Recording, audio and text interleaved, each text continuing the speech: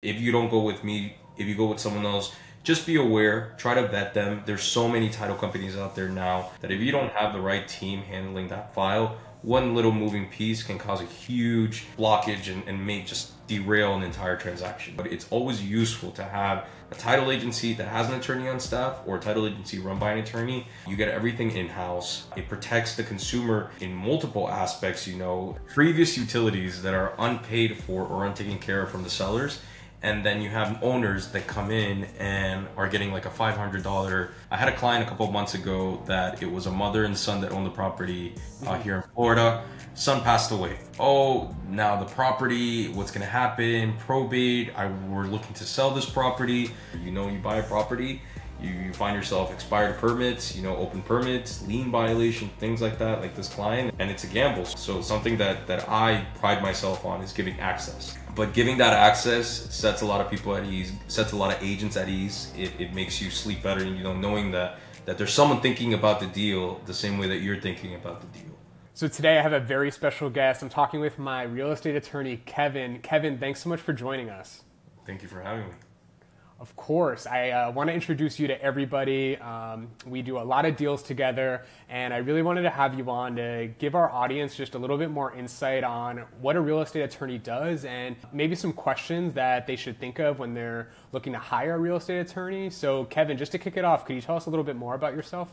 Yeah, of course. So, again, my name is Kevin Correa. I've been practicing uh, law here in Miami now for two years, but I've been doing title work now for over ooh, seven years now. So before I started my own firm, I was at Greenspoon Marder with my former boss and mentor who basically taught me the ropes of doing this. And just to give you a little story of how I got into this, I initially wanted to do litigation and I mm-hmm. didn't want to do real estate. And then he really pushed me to do real estate and being here in Miami, it's, it's such a, like a good business because it's connected to everything, you know, like real estate touches everything. So under him, um, started working, doing residential uh, title work, residential real estate.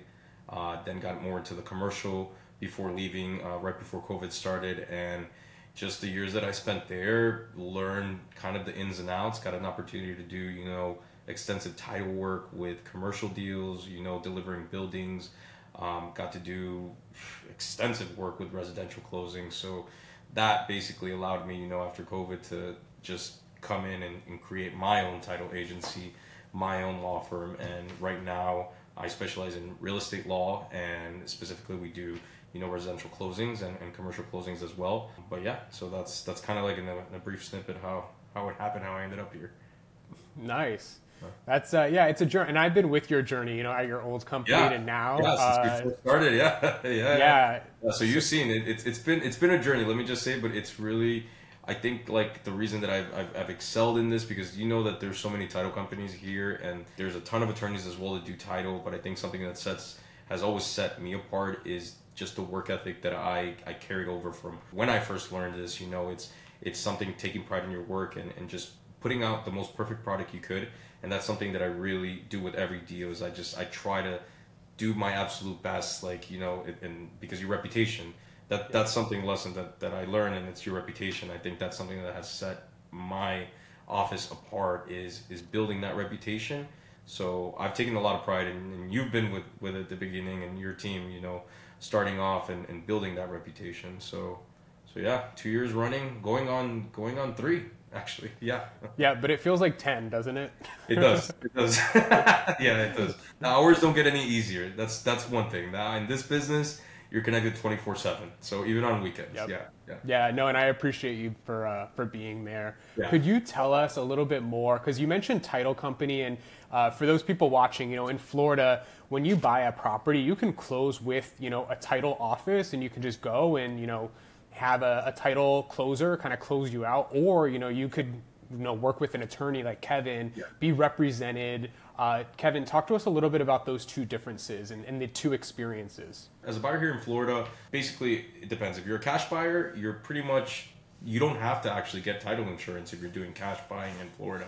Not a lot of people know this, but in, and I explain this to my clients who are cash buyers, but I always explain to them, would you buy a BMW, drive it off the lot without insurance? It's the same right. thing. Would you buy a million dollar home, you know, start living in it without having any kind of coverage?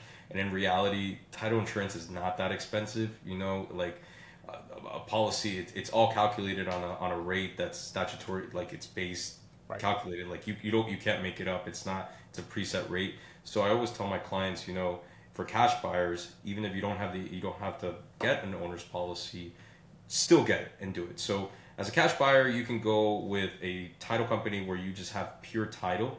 Now there's title agencies out there where you go through a certification process through different underwriters. Um, there's First American, there's Old Republic, who's actually run by attorneys. Um, there's Westcor, there's a few other ones, but those are the, the big ones. And mm-hmm. these title agencies basically go through a certification process here in Florida where they get licensed to do title by the state of Florida, but they're not necessarily attorneys. So mm. there's a ton of those out there, and a lot of those may have attorneys on staff or consult with attorneys. Um, nowadays, I found that, but but a lot of those are just pure title. Nothing bad. It's the only thing when I say to that is like it's always good to have an attorney on staff because especially a real estate attorney, you never know what could go wrong in a transaction. Like you and I have had a couple transactions where things have gone, you know, possibly south, and a title agent may not necessarily know the ins and outs of, of the legalities of things and be able to step in there. So I think having like business where you have title and attorney, it's really helpful to the consumer because it's not you don't have to then get it piecemeal. But yeah, so if you're a cash if you're a cash buyer, you can go in and if you don't want to get title, I mean, good luck. you don't have to. But if you do, you have the option of going with with just a, a title agency that's licensed to do title, or you can go with an attorney that also happens to be authorized to issue title. I can go on about you know the differences between the two or the benefits and costs. I mean, I don't know how how, how in depth you want me to get about that. Yeah, no. Well, I think the thing with attorneys is like they're almost like seatbelts. Like you, you don't know when you're gonna need it. Having you to represent my clients uh, when when things do come up, when um, certain I guess contract elements need to be reinforced. Like I know that you're going to go to bat for the client, um, whereas you know in other deals where I had buyers who just closed with title, you know, it, it, it, got a little tricky and then, you know, I would have to, you know, involve my broker or have the yeah. broker call. Whereas, you know, I, I can really lean on you to, to enforce the contract and really enforce the buyer and the, and the client's rights, you know? Yeah. I think it's useful. I mean, I, I only learned doing title work through a law firm. Mm-hmm. My mentor and the person who taught me this, Manny Manny Crespo, he's he's still at Greenberg, and he like that's how I learned it, doing it in a law firm setting. So it was actually new to me now, being exposed to these little title agencies and working more with them. We worked with them at the firm, but it was still the level of clientele. We were usually it was attorney to attorney that we were issuing title. And so now is where I've gotten to, you know, deal with more of these title companies. Um, I will say something too here in Florida. You know, we're a hot state right now for real estate. So with that also comes a lot of people doing not just real estate agents, but as it comes up with a lot of people doing title work. I always mm-hmm. tell my clients, you know, like if you don't go with me, if you go with someone else, just be aware. Try to vet them. There's so many title companies out there now with how busy the market is, they're popping up. All you have to do is do a certification course, you know, of like 60 hours online and oh, pass a test. So, but in reality, when you start doing it, there's so many intricacies, and and it's not that it's rocket science, but you know how it is that there's so many moving pieces that if you don't mm-hmm. have the right team handling that file, one little moving piece can cause a huge like blockage and, and make just derail an entire transaction. I always say to people that, and, and again, it's not knocking title agencies only, but it's always useful to have a title agency that has an attorney on staff or a title agency run by an attorney, just because again, it's more, it's better protection for a consumer. Um, you get everything in house. Uh, it protects the consumer in in multiple aspects. You know, where the attorney can step in and actually represent the buyer, not just in title but legally. You know, and we've we've had cases like that where where we are just pure title, we're acting as closing and title agent, but we always offer our clients, you know, if something comes about, we also offer legal representation and transaction. And I think maybe a couple of your clients have actually taken us up on that, yep. and it's it's been useful. You know, you don't have to go out searching for another another part of your transaction. Yeah, and then you know filling in that that other third party, and then you know just yeah. it, it's like you said, everything is in house with your uh, company, which I really love, and you know I love that the experience is like one stop shop. You know, at the end yeah. of the day, it's like we just come to you for all legal and title work. We try to make um, it as seamless as possible. We try to make it as easy as possible. Um, yeah. One of my goals with the company, especially after COVID, was making this as easy, as seamless, as uncomplicated. I think a lot of people had a perception that we know when you close home, you sit there and you're sitting there with a, with your attorney or, or with a closing agent with another party there in the other room like this kind of classical way of closing homes so yeah. that's something that when i went in i really wanted to upend that and i really wanted to like change it up. And i capitalized on the fact that that that you know everything was remote because of covid and really just try to make it streamlined seamless and and something that you've seen too is like we try to really like use technology in, in, in our in our closings and in our in, in everything that we do from closings, doing closings virtually anywhere in the world, yeah. to you know, like doing even mobile notaries, things like that, where the client doesn't even come to the office. We make it seamless. How many times have we had clients that I tell them, listen, just tell me where and when, whenever that's most convenient to you, you know? And I think that like that's refreshing, and I found that that's been another thing that's set us apart, and that's you know making it streamlined. You know, not what you said, not just having everything in house, but but also offering this product. It just makes it easy, you know, makes it seamless to buy a property, makes it easy to buy a home. Yeah, yeah, yeah. The, that Apple Store experience, like That's mixed I, with yeah. the Uber. You know what I'm talking about? Yeah. Yeah, the, yeah. and like we like sending. I know my last buyers. You know, we did the mobile notary, and it was like so smooth, and nobody had to go to a law office or a title and drive and take off work and they were able to close on their house, and that's like a whole new experience that yeah. yeah. a lot of people aren't accustomed to which i think is exactly. amazing exactly yeah the apple experience that's what i call it that's what i i, I literally have molded in a way even like now designing like marketing and stuff yeah i'm like seamless sleek to the point seamless sleek to the point but yeah the apple experience everything's easy ecosystem you know like right. like what does that company do ecosystem consumer like the consumer doesn't have to do anything it just makes it easy for them but that's yeah. that's that's kind of like what we're copying that model a little bit, applying it to title because title is just very antiquated, as you know. Yeah, old school. Like you, you can either have that old school experience, which like not knocking anybody, but like no, no, no. Yeah, that yeah, is yeah. totally there for you, or you know you can move into like this modern new space, you know, where which is like really fun to play in. So. Uh, speaking of that, you know, could you give us some examples of just some legal issues? Because you talked about how you represent some buyers and you know seller clients. Uh, what are some common legal issues that your clients face when they purchase a home, or maybe after they buy a home? I wouldn't say it's legal, but I think one of the most common, and, and it's something minimal, but it, it's still an issue um, buyers have is with utilities. Something oh. where previous utilities that are unpaid for or untaken care of from the sellers and then you have owners that come in and are getting like a $500 bill you know i had a client call me today about that that's pretty commonplace so there's a few things that as title agents we try to do to prevent that not just obviously having like we pull lien reports which go to the local municipality county whatever you know and they right. tell us basically if the account is on zero but but even then most people don't realize that you know you have to get you have to make sure that the seller has a closed paid out bill at the moment of closing and you get proof of that and also you hold escrow for the seller for those utilities. And typically, what I tend to do is I hold two months worth of utilities escrow. So oh. that's something common. Um, it's not legal because utilities typically are not lienable. When utilities, when I talk about water and sewage, these are not lienable unpaid due uh, fines. So they, but they remain with the property. You know, they remain with with that account. So that's a pretty common thing for buyers. I think always to be aware of is having these unpaid utilities from either sellers or if you buy a property that let's say has tenants that have, that are moving out that's something super important i always i always try to you know explain to my buyers you know be, be aware of that and, and on my end when we close transactions like that we always try to account for that so that's been the most common headache for for buyers and you know you you don't want as a buyer to get a bill the next month saying that you owe a thousand dollars in water from your prior owner of your property so that's one um, I think also other properties, you know, just buying properties with tenants. That's that's mm-hmm. here in Florida. That's a big, very common, and we've had clients where they buy property with tenants. So just making sure that not just getting the proper documentation, you know, from the closing.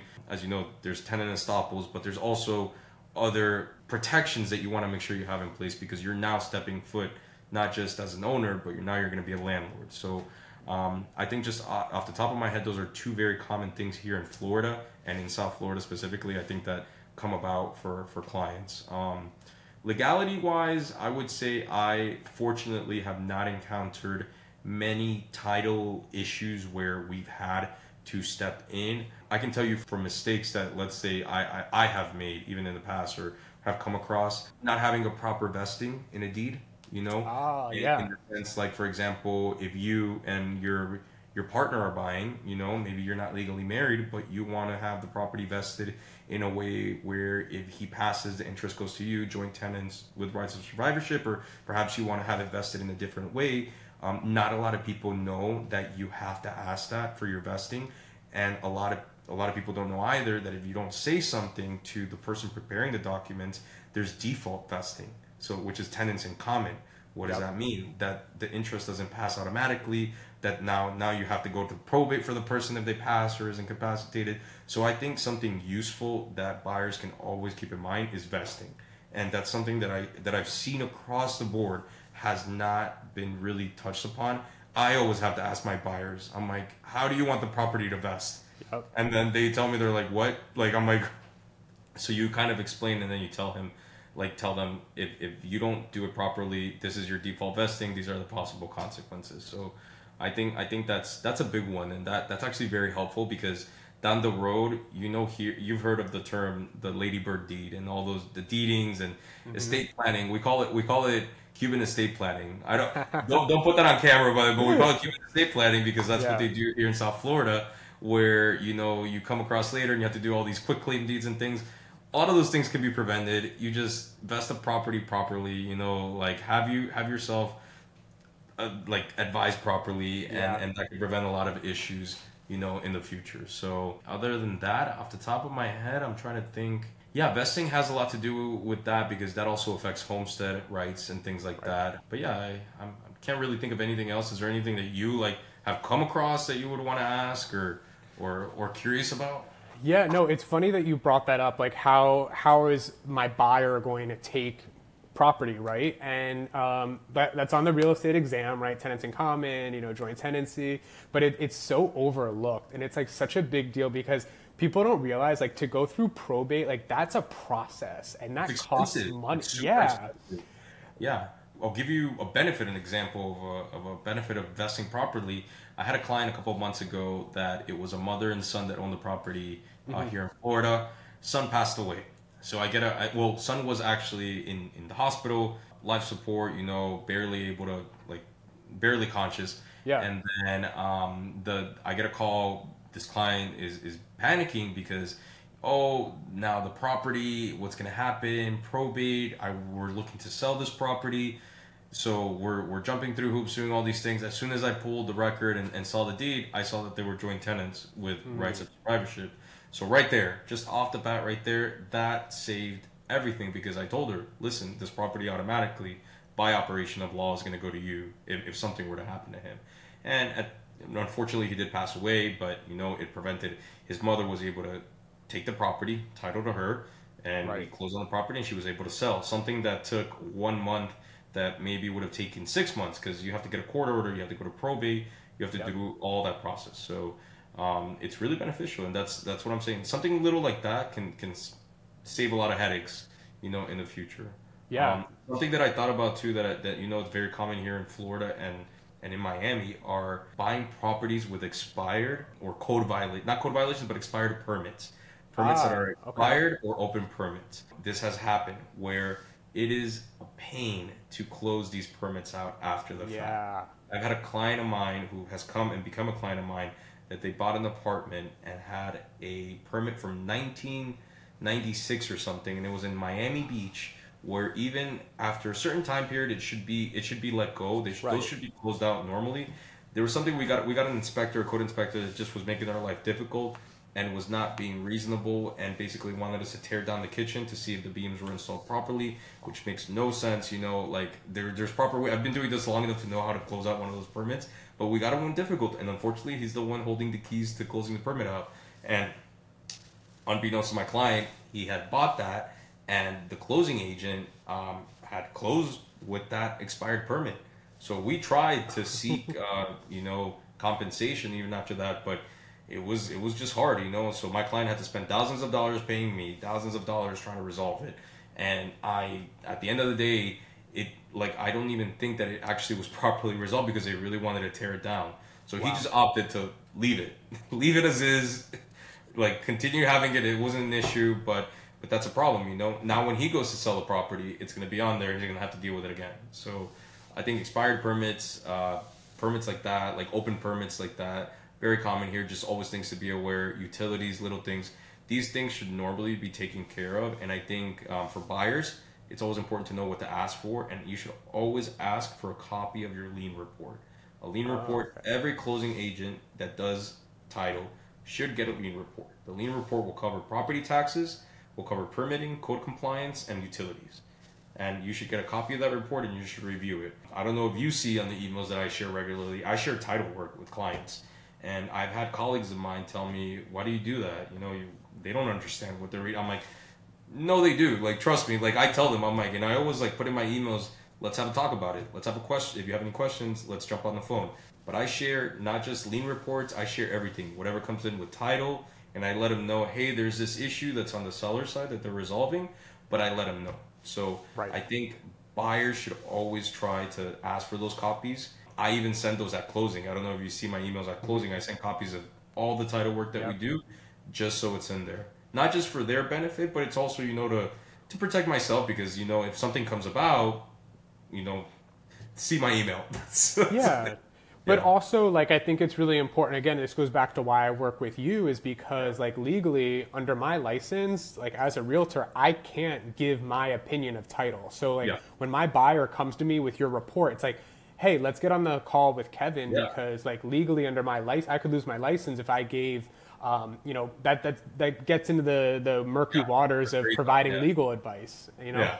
Yeah. Yeah well i mean speaking of that speaking of title i wanted to talk about liens because yeah. um, I think that there's like some misconceptions about property liens and yeah. how you can uh, really resolve them because a lien isn't I don't think the end of the world and yeah. you know like you said so could you talk to us a little bit more about property liens and maybe how you help buyers resolve them again there's different kinds if we're talking about let's focus on let's say municipal county liens let's say for violations of not having the property up to code or mm-hmm. or or I'll give you an example of a client. I have a client in Miami Shores who just bought this property that has about a million dollars in liens. They bought it, but it's it's a great deal. But you know, Miami Shores has a very strict code how to yeah, keep the your grass, grass laying, yep. exterior. Um, as soon as you are not in compliance, there will be a code officer that'll take put a ticket.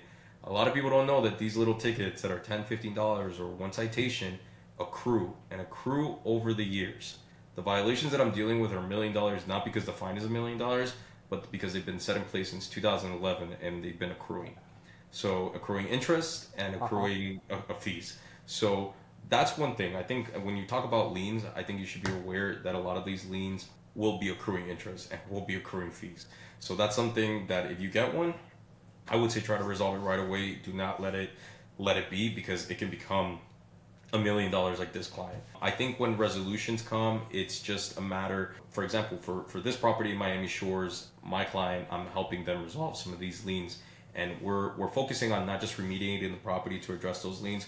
Um, first steps first, we, we, what I tend to do is reach out directly to code compliance and try to find the officer who put those or the officer in charge I just pick up the phone and I try to establish conversations. I find that very useful because you'd be surprised at how many times just picking up the phone and having a conversation is easier than sending an email with 50 attachments and, and five paragraphs. So I think hiring an attorney that, that has a good, is personable, has good connections in the city, that's key for resolving liens. As far as the process, in this case, for example, we have to go in front of the city council to appeal basically these liens. But in order to resolve those, you have to address those. You have to petition, and hopefully they reduce it. It's not even a guarantee because they can yeah. be stuck with those million dollars. But but fortunately, my client is not just remediating the property; they're remodeling. So I think we have a good chance. But yeah, when it comes to liens, I would say just be aware that these things accrue. Don't let them just sit there. Lien resolution is not that bad. I think you just have to have an attorney that knows who to speak to, has good connections with with the local cities. It's all about connections. I think it's all about you know being able to talk to someone. And every municipality, every county is different. You know, dealing here in in Miami Dade County with with local cities and municipalities has been completely different for me than dealing, say, in Hillsborough or Pinellas County, where we have our other office. That they're they're much stricter. It's funny because I have to have two different really? approaches. Yeah, I have to have two different approaches. Here, my approach is always phone doing that. And it's funny in Hillsborough and Pinellas, my approach is very like, here my little paragraph with that, yeah. and then after the fact, maybe I'll speak. They they do not want to talk to you. They don't care. They're very like strict. So I just think picking picking an attorney, a good local attorney, someone that knows the municipality, someone that has experience. If you're looking to resolve liens, it's super important to pick the proper attorney that is really actually going to go and, and, and get this done, has the personality to get this done. Yep. Because you don't want a combative person that's going to go in there and yell. Because, like I said, some of these liens, it's what you owe, and you can petition, you can remodel the whole house, and if the city council, you know, you go in there and you're you're being combative and problematic, they're just going to leave it for you. So I think it's really key to have a good attorney, someone to bat on your on your end, and it may not even be an attorney. There's people, there's specific companies that dedicate themselves to lien resolution. So like I always say, PropLogix, that's one of our vendors that we use for like our reports and things yeah. Like they have a division that dedicates themselves to lien resolutions. You don't necessarily may need an attorney. It's just getting a good vendor. And, and like I said, I feel like I'm plugging for PropLogix, but they're, they're excellent. They're statewide. They're really well known. They're really well connected. They know the system. They know what you need to do, the process. So I think I think that's key. Either a good attorney or having a good vendor that actually knows how to do this established. Yeah. Yeah, yeah, and that, that's big here. I mean, just the amount of flippers and the amount of yeah. investors who you know buy a property cash and they take it as is and they're okay with the liens because you know they they know if yeah. they can negotiate yeah. it down or if they can work something out with the city. Have you found this is a aside? Um, have you found in your experience is the city um, maybe more likely to come to an agreement or to settle liens if yeah. the property is in maybe like a bad condition and yeah. uh, the buyer is going to renovate and just make the curb appeal nicer. Have you found that in your experience? Absolutely. So, like to the example of Miami Shores, these clients, the property has been in foreclosure, has been dilapidated for about eight years.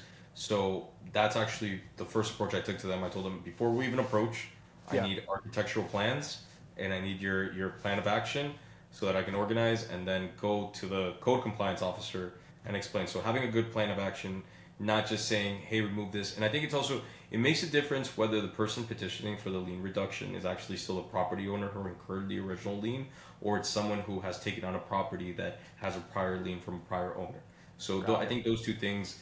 Uh, make a difference for when people are evaluating these reduction petitions for reductions. I, I don't think that they're going to be much very favorable to someone who's had this lien for eight years and all of a sudden woke up and is saying, "Hey, I want to fix this," versus you know someone who just bought this property and that is actually in the process. So that's very key. I mean, I I wouldn't say don't do it, but if you're an owner that has had a lien for ten years and now you want to try to resolve it, and you're dealing with like the city of Coral Gables yeah. or the city of Miami Shores, I would say good luck because like they're gonna look at you and they'll be like, "What have you been doing?" So before you waste your money, I think it's it's it does make a huge difference, you know, and and obviously, yeah, if you we were saying flippers, that's very common here. You know, you buy a property, you, you find yourself expired permits, you know, open permits, lien violation, things like that, like this client, and and it's a gamble. So again, it goes back to what I said, not just having proper due diligence. I think I think a lot of people here sometimes get in the in the game of, of buying and so desperate that you don't do your proper due diligence. I think that's why even as you as, as a real estate agent and you may not know this you can do your own lien searches. You know it's not an exclusive title like service that we use and that's something that a buyer can use as well. Proplogix is an open vendor that anybody can call and say i'm interested in this property. Can you pull a lien report for me? You know before you you get in there because you're right a lot of people go into as is contracts and yep. you know you don't realize what a headache you're getting into. So I just think it comes down to, to due diligence, and, and if you do get a property that has that, having a plan of action. You know, having a good plan of action, having a good either attorney or a good vendor that's gonna go back for you and petition this. You know, before you actually sign off on the contract, which is what my clients did before they signed off. Yep. We had multiple meetings. We had an architect. We had an engineer. Like we had a structural engineer go to the place. You know, evaluate. We did a thorough. I did a thorough review of the liens and everything that was in there you know, determine their listen, this is this is your chances, this is your possibilities. Then based on that is where they actually decided to, you know, pull the trigger, get into contract and close. Awesome. Yeah. Yeah, just giving them like best case, worst case scenario, yeah. and doing all that that due diligence yeah, up front. Well, speaking of that, you know, speaking of having somebody like you, I, I know people, you know, they, they have a friend who's an attorney or their yeah. dad's brother or, you know, family, yeah. fa- oh, there's always a family friend who's an yeah. attorney. And, you know, I, I always say, you know, it's great to get a second opinion. So what are some things that people should look for when they're looking to hire a real estate attorney? I think experience definitely experience this this industry what we do in real estate law again it's not rocket science but there's a lot of moving parts. It's a lot of little little things that that if you don't do something right, it'll derail something completely. So I think experience matters, and and with experience comes knowledge of all those moving parts. So mm-hmm. someone that can see the big picture has the experience to overview the entire transaction. You know, that's really integral. I really think just word of mouth, reputation. You never know. Community, my, our community here is really small and surprisingly like we we have we live in a big city but our community precedes us and you start to see and you can ask around and you will find out you know so so i think i think just experience ask around reputation matters i really wouldn't say pricing because pricing i wouldn't go with with pricing alone it is impactful but i think more importantly it is the experience having having proper vetting of, of individuals. And in reality i would say there really isn't a difference between say going with like a boutique firm like myself or like a larger firm. You're going to get the same service if you have the same kind of attorney. So so a lot of people may think oh i'm to go with like a greenberg traurig or greenspoon marder where i used to be and that's somehow to be like you know like better. Not necessarily because you know it may you will never speak to the attorney you're going to be speaking to their paralegal exactly yeah exactly. so i think i think something i think that's that brings up maybe maybe a good point is access you know as a buyer, don't you want to have access to to someone? So something that that I pride myself on is giving access. Like I give access to my agents. Like you guys know, you have my personal number.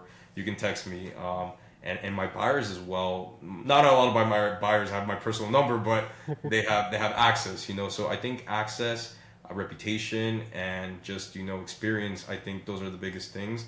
And out of those three, I would say obviously experience and reputation, but access is the biggest thing because home buying is a is a scary thought. You know, it's a lot of money. It's it's a scary thought. You have a lot of time first home buyers that have questions that you know attorneys and some attorneys may think that they're above answering that. Yeah. And, and I don't think I don't think you should ever be above answering that. Like I no matter how silly the question may seem, it, it may seem something critical for someone who's buying a home for the first time. So giving that access to a client sets them at ease.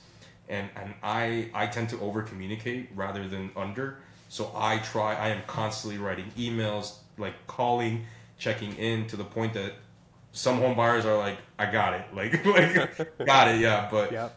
But giving that access sets a lot of people at ease, sets a lot of agents at ease. It, it makes you sleep better, you know, knowing that that there's someone thinking about the deal the same way that you're thinking about the deal. So that that's super important. Make sure you get someone who gives you that access and and again not knocking my paralegals because without them we wouldn't be here but you sometimes want to talk to to the attorney you sometimes want to talk to the person who, who know you hired to, to yep. do to do your transaction so it's important to not just have that access but to, to find someone who's going to give you that access in time yeah because people think you know i'm going to go with that big name law firm but it's like you're not going to get the partner yeah. you're not going to get you know the yeah. you know the associate like you're going to yeah. get the paralegal as the first line of defense yeah. and then if you want to talk to the partner like that's a that's a billable hour you know that's yeah. yeah you know you know i don't bill by the hour for, well we we tend to attorneys don't tend to bill by the hour for real estate transactions residential uh-huh. you know it's mostly flat rates very rarely do you find that you do billable hours I that would say that there must be some kind of extensive legal work involved that you have signed a retainer or done something uh, for you to be billing by the hours. But but fortunately, most of these transactions are all flat rates. But yeah, but yeah you're right. Like if you get into a legal something, good luck talking to a partner, and then wait for the bill. Yeah, and the retainer. Yeah. Yep. yeah, yeah, exactly. Yeah. Awesome. Well, this has been so much fun. Uh, we talked a lot about real estate transaction, legal stuff. Changing gears, Kevin, where can we find you when you're outside the law firm? What do you like to do in Miami? what activities gardening. are you in? Gardening. oh yeah. I've gotten into gardening a lot with with COVID. Um, it's I know I don't look like I'm someone who goes and gardens, but I garden a lot. Like when I'm not doing this, you know, it's funny to to kind of disconnect. because mm-hmm. my mind is always on. I'm, I'm the kind of person that that I worry about my clients. I worry about you know you you are not just someone that I work with, but you're a friend. You know, like you become family friends, and, and, and so I worry a lot. And I think gardening has allowed me to kind of disconnect. I, I just throw my AirPods on. Yeah. Put some good beats, and I literally start either clipping the hedges or doing something here in the yard, which I did last night. I, I have a very busy week, so last night at like 6:30 when the day wrapped up, I just put my headphones on I went outside and was doing some some gardening, some some landscaping here in the house. But yeah, I, have I've really gotten into it. It's really relaxing, actually. I agree. I, I think yeah. it's a great way to, to disconnect. Yeah. I'm very proud of my grass. I have the greenest grass in the in the block. So. yeah. Yeah, no, that's so fun. And for everybody watching, it's so funny. Kevin, you live right around the block from my buyers that are under contract right yes, now. Yes, yes, they're buying two blocks from here. That's yeah. crazy. What a small world, right? I know, I know. I saw that price for that house. So good comparable. great for your property value and great, great for, for, my them. property value. Yeah, yeah, yeah. Win-win for everyone. Yeah. I know. I love that. awesome, Kevin. Well, uh, we're we're nearing the end. Any final thoughts you want to leave people with? Yeah, I would say you know, as as buyers, like you're a buyer's agent most of the time, right? So yeah you know, as, as buyers, we're, we're getting a lot of people here in Florida, a, a lot of new people. So to these buyers, I would just say to kind of recap, you know, find someone who's really going to go be in your corner. This is an experience, and I think having a good team, building a good team around you to to buy your, your dream home is, is essential. So I think that team consists of not just having your good realtor, but in reality a good attorney. You know, and, and that's the truth. Having having a good team makes the load of difference, getting you the best deal, and you know just basically guiding you because by the time the process is done, you become family. You become really intimate. You know, you're talking every day. So just yeah. finding someone that you're really comfortable with, you know, someone that you can really like like have access to and, and really trust to guide you through this deal. Because because again it's very scary. It's a lot of money. So you want to make sure that you have a good team. I would just say that as a buyer always be conscious of building that good team that, that can really support you through this process.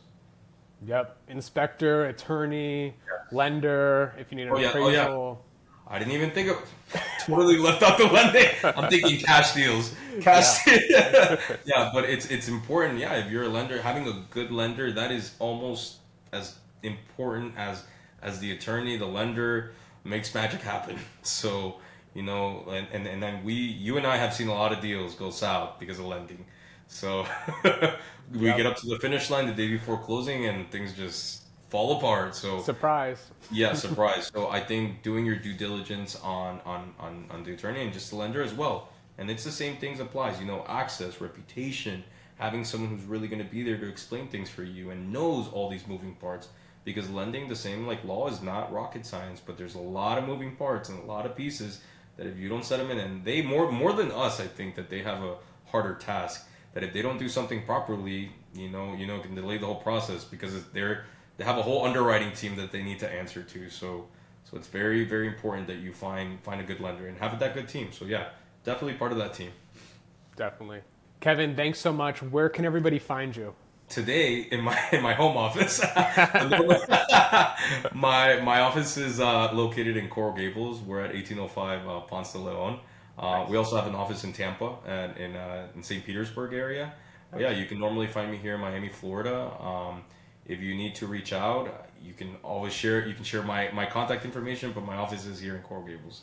Awesome. Yeah, I'm going to link all your contact information yeah. in the show description below so people can reach out to you. Oh, Kevin, thank you, you so much. My office. I, you haven't visited. See this virtual signing, all this high tech stuff. Like I know, haven't you never even been to my office? That's so we we've never closed yeah, in person. You never you never been. Let's see if the closing this week. Yeah, which I'm never mind because they're they're signing out of state. yeah. Isn't that the best? I mean, seriously, I you, it's the best. I haven't seen. I haven't. I've had. We're in. We're in July of this year. I've had two in-person closings, and this yeah. year, out of out of like around 250 like loan closings that we've had. Yeah. Three have decided to come into the office. Wow. Everyone else, as soon as I tell them I can send you someone on a mobile notary, they're like, "Oh, okay." Yeah. like, say yeah. less. So yeah, say less. so yeah, yeah. But one day you'll come by. one day, yeah, I'll yeah. definitely have to stop by. Kevin, thank you so much again. Oh, Appreciate pleasure. your time. Thanks, Joe. Appreciate it.